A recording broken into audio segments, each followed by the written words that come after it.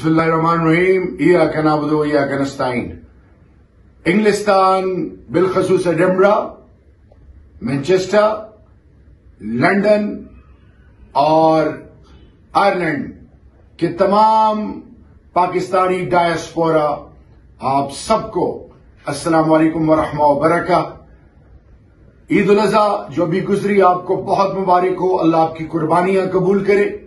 آپ میں سے بہت ساروں کو پیارے حج کی سعادت اللہ نے ان کو نصیب کی ہوگی، آپ کو وہ بھی مبارک ہو۔ آپ کا دل پاکستان اور عمران خان کے ساتھ دھڑکتا ہے۔ آپ محسن پاکستان ہیں۔ آپ پاکستان کا فخر غرور مان ہے آپ کی عزتوں اور عظمتوں کو سلام۔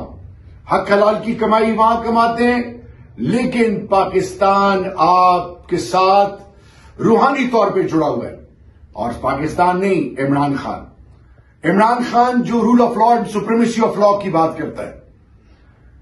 وہ شخص جو مدینہ کی اس ریاست، نیا پاکستان اور پاکستان کو ایک ایسا رول ماڈل سٹیٹ بنانا، جس کی نسبت نہ صرف امام الانبیاء، خاتم النبی حضرت محمد مصطفیٰ صلی اللہ علیہ وسلم سے ہو، بلکہ یہ ملک اقوام عالم میں پارٹنر ان پیس کے طور پہ جانا جائے، جو دنیا کے قوموں کے بیچ میں برجنگ رول پلے کرے۔ یہ وہ ملک جو اپنے فیصلے خود کر سکے، ایک خود مختار ریاست، ایک ایسی ریاست جو بابکار زندگی گزارے۔ پاکستان کے پاسپورٹ کی، پاکستان کے قوم کی عزت نفس کو کوئی مجرو نہ کر سکے۔ تو میرے پاکستانی وہ شخص عمران خان، جس نے اپنا سب کچھ قربان کیا۔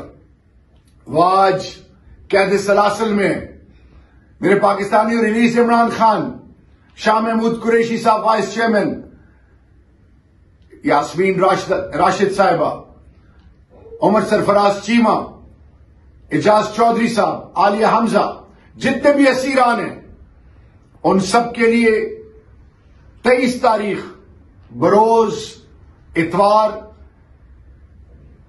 تین بجے پکیڈلی گارڈنز مینچسٹر میں ٹین ڈاؤننگ اسٹریٹ لنڈن میں اور ایڈمبرا اور آئرلینڈ کے پارلیمنٹس کے سامنے بھرپور پرامن طریقے سے ریلیز اور احتجاج ہوگا اور اس کا سول آبجیکٹو کیا ہے کہ مہذب قومیں اپنی پریزنس اور سب سے بڑھ کر یہ کہ اپنے حق کے لیے آواز اٹھاتی ہیں۔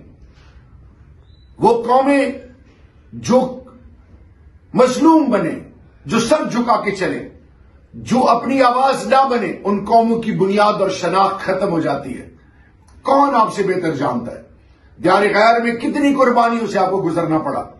لیکن اگین آپ کے ابا و اجداد کو سلام ہے کہ آج بھی پاکستانی مٹی سے آپ جڑے ہوئے تو تیئیس تاریخ، بروز اتوار، آپ سب سے پوری ماں، بہنوں، بیٹیوں، جوانوں سے آپ سے التماس استدا ہے کہ پیسفل پروٹیسٹ کے تھرو دنیا کو یہ باور کرائیں کہ پاکستانی قوم ایک غیرت مند قوم ہے۔ دیار غیر میں پاکستانی قوم جو بسے میں وہ اپنی ملک اور اپنے اس لیڈر جو پاکستان کے ہر شخص کے دل کی دھڑکن بنا ہوا ہے۔ ایک ایسا شخص جس پر آنے والی نسل فخر کرے گی۔ ایک ایسا شخص جس کی نسبت لا الہ الا اللہ محمد رسول اللہ سے جڑی ہوئی ہے۔